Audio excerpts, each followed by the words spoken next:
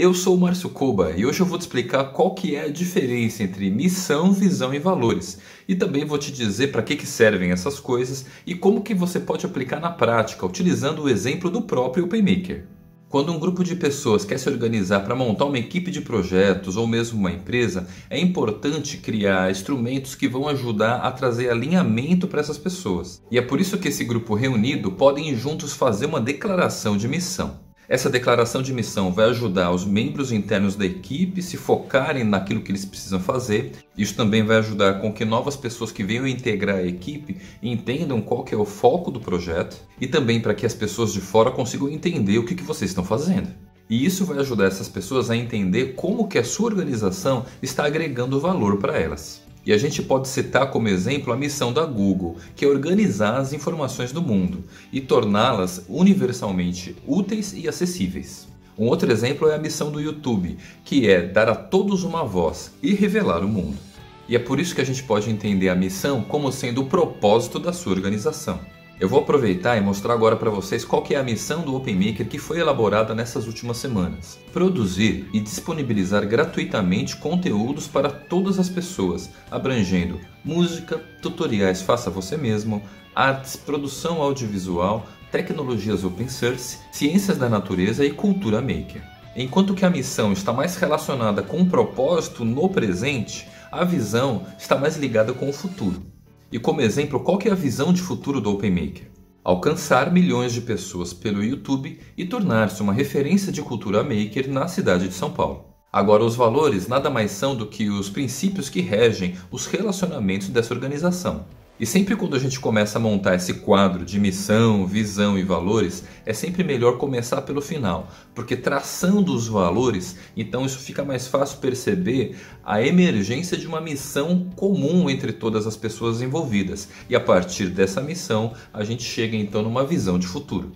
E esses valores vêm trazer à tona aquilo que realmente está no nosso espírito, aquilo que a gente acredita. Então, como exemplo aqui no OpenMaker, os nossos 10 valores são a inclusão e o acesso à informação, a honestidade e a transparência, a liberdade de expressão, a gestão horizontal de projetos. Se todos compartilham aquilo que possuem, não é necessário acumular bens materiais. A solidariedade, a visão ganha-ganha, a sustentabilidade ambiental, o consenso, ser sempre beta, fazer você mesmo aquilo que considera mais importante e eu vou deixar esse documento acessível aqui na descrição desse vídeo caso você queira dar uma espiada. E é importante explicar que ele foi elaborado a partir de duas reuniões, uma de um brainstorming de ideias e uma outra reunião na semana seguinte para fazer um refinamento dessas ideias. Tá, mas para que serve todo esse trabalho?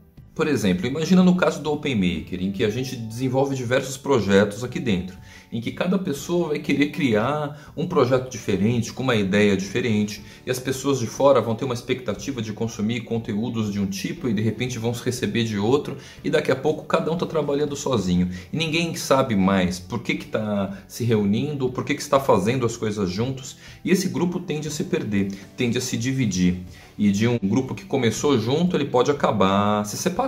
Então, se você pretende criar consistência em longo prazo para sua organização, é importante estabelecer missão, visão e valores. Que em resumo mostra o que a gente está fazendo no presente, o que a gente quer alcançar no futuro e quais são os nossos princípios. E é claro que você não pode perder muito tempo para ficar planejando, planejando e não sair do lugar. E é por isso que eu recomendo que a organização dessas coisas seja bastante objetiva, com um limite de tempo, porque afinal de contas você vai poder sempre reformular cada uma dessas coisas com o passar dos anos. E para que todas essas ideias conceituais se tornem práticas, eu costumo depois disso estabelecer um quadro de objetivos e metas. Como exemplo, os objetivos que a gente tem aqui no OpenMaker para 2021 nada mais são do que o que queremos atingir, que é alcançar mais pessoas, promover o crescimento pessoal de cada um dos integrantes, continuar oferecendo gratuitamente suporte para outros artistas e profetas aqui nesse espaço maker e também colaborar com outros parceiros para que eles venham ter autonomia para administrar seus próprios canais. Mas para mim isso continua sendo uma coisa subjetiva demais.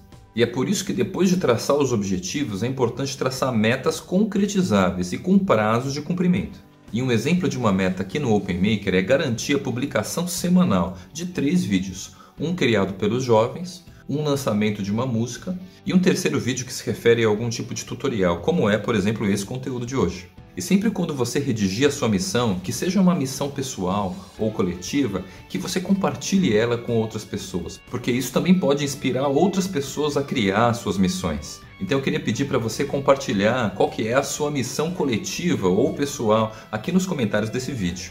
E se você gostou desse conteúdo, não esqueça de fazer sua inscrição no canal e ativar o sininho para receber as notificações dos próximos vídeos. Falou!